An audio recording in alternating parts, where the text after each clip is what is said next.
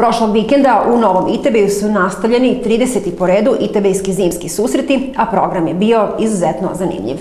Organizovan je tradicionalni maskimbal, a u svadbenoj povorci koja je išla po ulicama bili su i mlada i mladoženja koji su imali obavezu da motre jedno na drugo, ali su zato svatovi veselim raspoloženjem zabavljali meštane koji su ih radosno dočekivali i zajedno nastojali da upute poruke zimi da što pre ode sa ovih prostora. U tim svojim zahtevima izgleda da su i uspjeli jer je posle njihove promenade sunce pomolilo glavu i nastavilo da greje i narednih dana.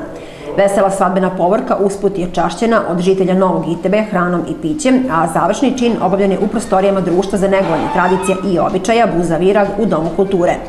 U večernim časovima maskemal je nastavljen, ali bez maski, kako učesnici prepodnevnog šetanja po ulicama ne bi bili prepoznati od meštana, a i od zime, jer u protivnom njihovi zahtevi ne bi imali efekta. U zabavnom programu nastupio je muzički sastav Atlantik iz Mužlje, pa je veselje potrajalo duboko u noć.